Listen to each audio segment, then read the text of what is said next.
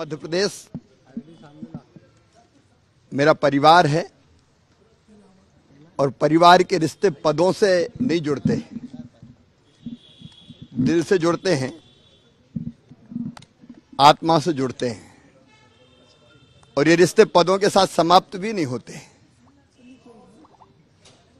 और इसलिए जनता अपना परिवार है भांजे भांजियों से प्यार का रिश्ता है,